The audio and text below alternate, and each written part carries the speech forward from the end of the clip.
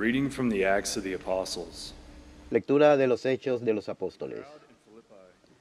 En aquellos días, la plebe de Filipos se amotinó contra Pablo y Silas, y los magistrados dieron orden de que los desnudaran y los apalearan.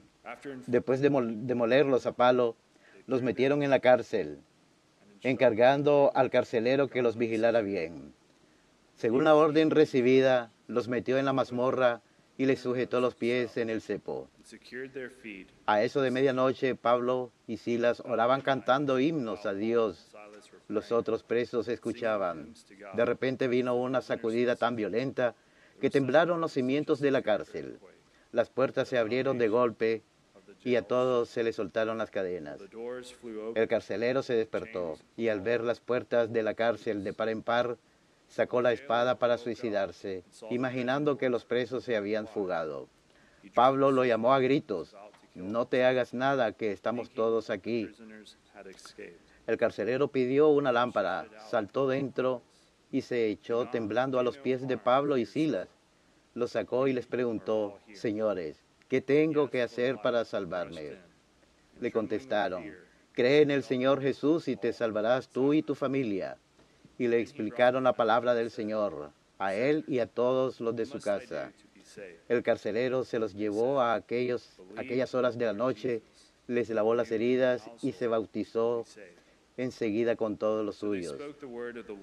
Los subió a su casa, les preparó la mesa y celebraron una fiesta de familia por haber creído en Dios. He brought them up into his house and provided a meal, and with his household rejoiced at having come to faith in God. Verbum Domini.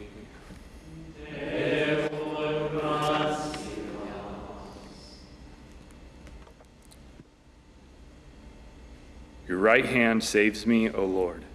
Señor, tu derecha me salva. Señor, tu derecha me salva. Te doy gracias, Señor, de todo corazón. Delante de los ángeles tañeré para ti. Me postraré hacia tu santuario.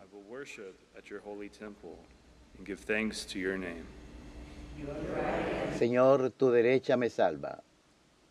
Because of your kindness and your truth, Daré gracias a tu nombre por tu misericordia y tu lealtad, porque tu promesa supera a tu fama. Cuando te invoqué, me escuchaste. Acreciste el valor en mi alma. Señor, tu derecha me salva. El Señor completará sus favores conmigo. Señor, tu misericordia es eterna. No abandones la obra de tus manos. Señor, tu derecha me salva.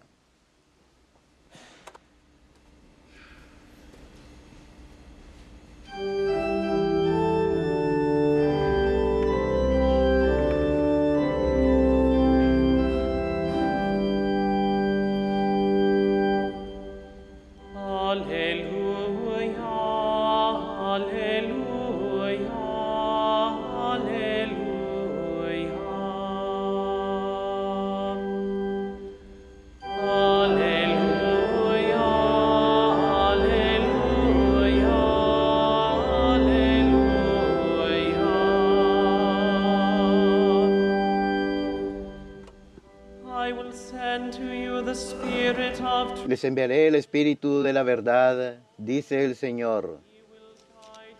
Él les enseñará la verdad plena.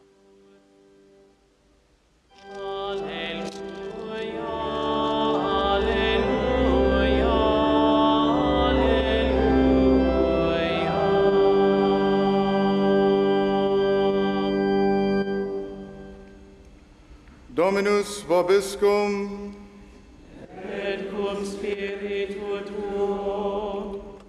Lectio Sancti Evangelii secundum Ioannem. gloria tibi, Domine. Jesus said to his disciples, En aquel tiempo dijo Jesús a sus discípulos, me voy al que me envió y ninguno de ustedes me pregunta, ¿a dónde vas? Sino que por haberles dicho esto, la tristeza os ha llenado el corazón. Sin embargo, lo que les digo es la verdad. Os conviene que yo me vaya, porque si no me voy, no vendrá a ustedes el Paráclito. En cambio, si me voy, os lo enviaré. Y cuando venga, dejará convicto al mundo con la prueba de un pecado, de una justicia, de una condena. De un pecado porque no creen en mí. De una justicia porque me voy al Padre y no me veréis. Sin because they do not believe in me. Righteousness because I am going to the Father, and you will no longer see me. Condemnation De una condena porque el príncipe de este mundo está condenado. Verbum Domini.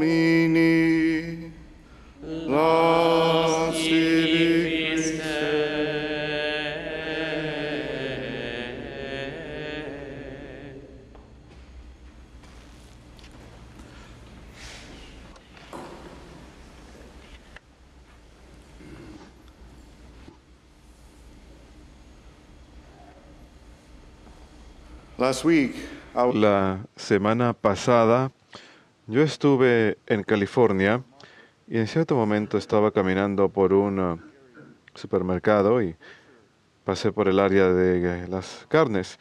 El carnicero me reconoció, me saludó, fui a saludarlo, hablarle. Me dice, padre, ¿qué tal? Tuvimos una breve conversación. Le pregunté dónde él iba a cuál, iglesia él ah, iba y él me dijo que había estado alejado de la iglesia. Y entonces le di unas cuantas palabras de misericordia y de ánimo para que regrese. Y poco después de eso, al cabo de 15 segundos, caminé a la sección de verduras y frutas y había otro trabajador ahí. Me saluda, ¿qué tal padre? ¿Cómo le va? Me va bien, ¿cómo te va a ti? Le pregunté, ¿vas a misa? ¿Vas a la iglesia? Y me dice, no, estoy yendo ahora mismo, pero quiero regresar. Igual le di unas palabras ah, caritativas, palabras de misericordia, de ánimo. Estos dos hombres estaban convencidos. Vieron el hábito, nosotros usamos el hábito donde sea que vamos. Y eso les eh, convenció, en cierto modo. Recibió una respuesta respetuosa. A veces no siempre recibimos una respuesta muy respetuosa. A veces encontramos hostilidad cuando hay convicción. Es difícil para las tinieblas recibir la luz. Lo ciega. Es difícil mirarla a causa de la convicción.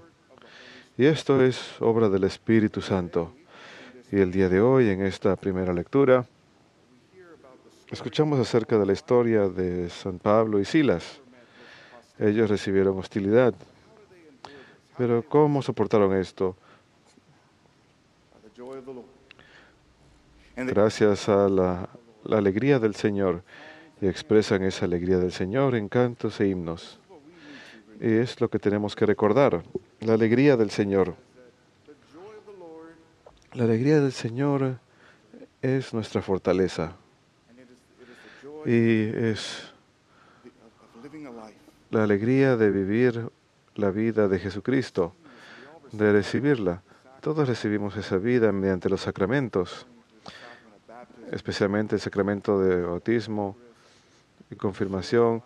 Al tomar la Eucaristía, al compartir la vida de Jesucristo, vivimos con Él, morimos con Él y resucitamos con Él. Y esto es causa de alegría. Por eso el apóstol Santiago nos dice en sus cartas, Cuenten en la alegría cuando soporten las tribulaciones. Así que miramos el día de hoy lo que pasa con San Pablo y Silas.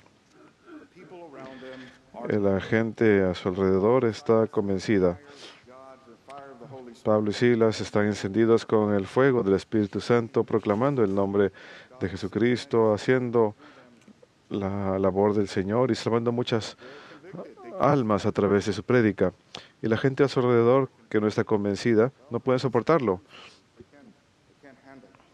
A veces la gente se convence porque llega la verdad y no pueden resistirse.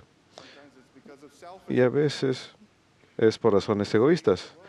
En este caso lo fue así. Pablo y Silas habían expulsado un demonio de una niña que era algo así como una own Ella era esclava y sus dueños estaban enriqueciendo por esto. Así que San Pablo y Silas al expulsar el demonio, ella ya no era capaz de predecir el futuro. Se enojaron por eso, así que ¿qué hicieron?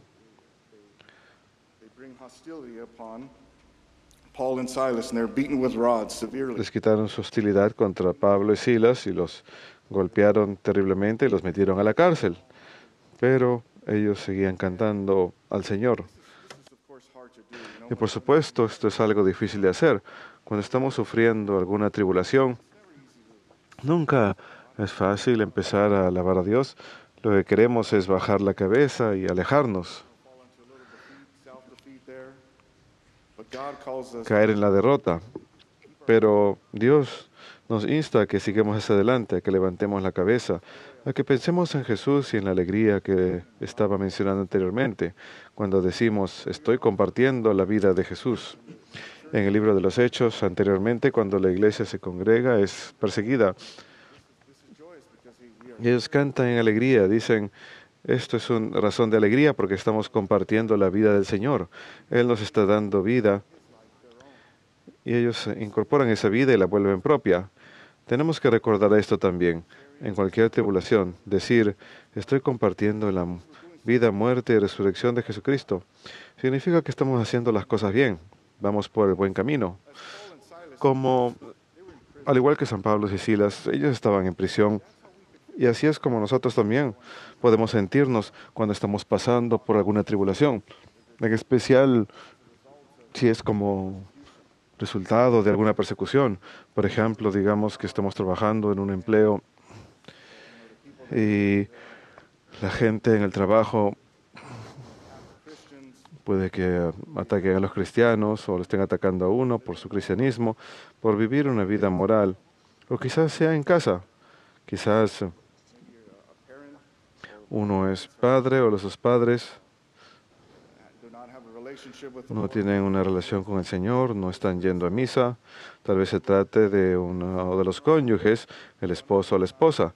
Uno de ellos está alejado de la iglesia, así que hay persecución.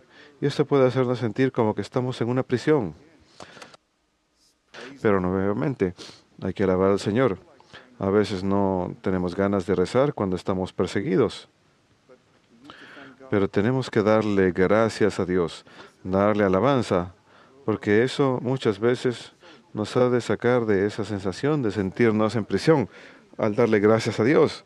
E incluso cuando tenemos problemas, para dificultad para rezar, una manera de avivar la oración es de empezar a darle gracias a Dios. La gente dice, no tengo nada de qué dar gracias a Dios. La gente me persigue con acusaciones falsas. Pero uno está vivo, uno sigue vivo, uno tiene vida. Le podemos dar gracias a Dios por estar vivos.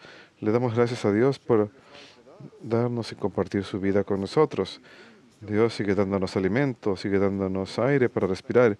Hay muchas razones para dar gracias al Señor y darle alabanza. Él es el Señor de nuestra vida. Es necesario en todo momento. Y eso ha de estimular nuestra oración. Eso ha de ayudar a llevarnos nuevamente en unión con el Señor. Ofrecernos a Dios, volver la mirada a Dios. Y Jesús, Jesús nos recuerda el día de hoy que ha de haber convicción. Esta es la obra del Espíritu Santo. Mientras más nos acercamos al Señor, más mientras más participamos de los sacramentos y nos esforzamos en vivir las enseñanzas de la iglesia, una vez que estamos en ese camino, siguiendo a Jesús, como Él dice, el mundo se volverá contra ustedes. Y es el Espíritu Santo que está obrando en ustedes y a través de ustedes. Es otra razón para regocijarse. El Espíritu Santo está obrando en uno. Puede que uno no lo sienta, puede que uno no vea pirotecnia ni nada de eso, pero Dios está haciendo algo. Tenemos que regocijarnos en eso también. Así pues, hermanos, el Señor hace mucho en nosotros y a través de nosotros. Y si estamos en un punto en que sentimos que estamos muriendo, que las cosas son muy pesadas, Dios está haciendo algo. Démosle alabanza, démosle gracias. Démosle gracias en expectación por el trabajo, por la obra que Él hace en nuestras vidas. Démosle gloria por eso. Démosle gloria por la forma en que Él nos está llevando de un punto a otro. Démosle gracias en todo momento. Por eso es que San Pablo dice en Filipenses, regocíjense en el Señor siempre. Repito, regocíjense. Siempre hay causa para regocijarse, siempre hay una razón para regocijarse. Así que nuevamente recuerden, hermanos, Dios siempre está con nosotros en esta última lectura del Evangelio, en la lectura de San Juan, capítulo 14, nos dice, no los dejo desamparados, el Espíritu de Dios siempre está con nosotros. Por eso la gente se convence, porque el Espíritu Santo está obrando. Sepan, hermanos, que Dios está con cada uno de nosotros y nos conoce bien. Que la alegría del Señor es nuestra fortaleza. Que Dios los bendiga.